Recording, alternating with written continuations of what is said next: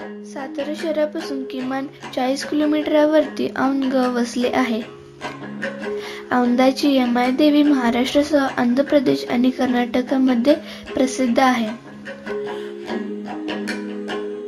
मंदिराकडे जाताना वेगवेगळ्या प्रकारच्या संगमरवरी मूर्त्या आपलं स्वागत करत असतात.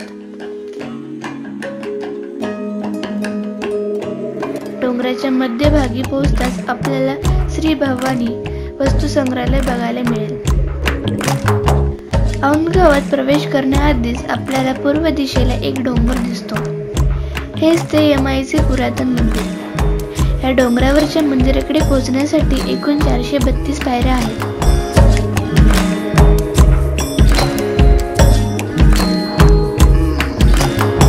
मजबूत तटबंदी आणि दगडी बांधकाम मंदिराची प्राचीनतेची साक्ष देऊन जातं.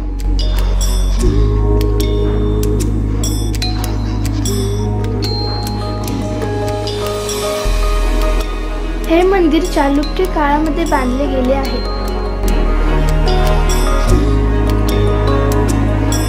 मंदिराच्या अवतीभोवती फिरताना अगदी मन प्रसन्न होऊन जाते आणि त्या काळातील बांधकामाचा अंदाज येतो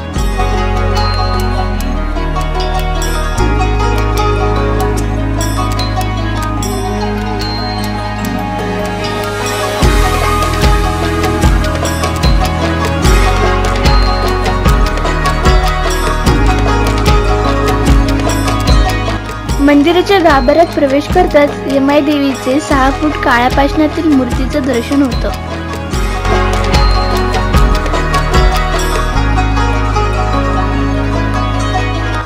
असं हे प्राचीन यमाई देवीचे मंदिर.